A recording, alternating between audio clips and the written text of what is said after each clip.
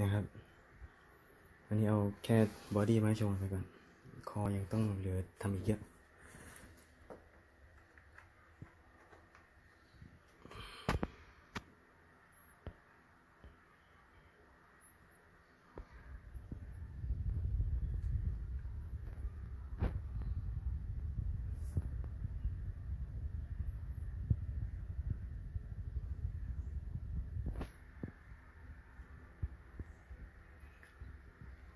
ใช้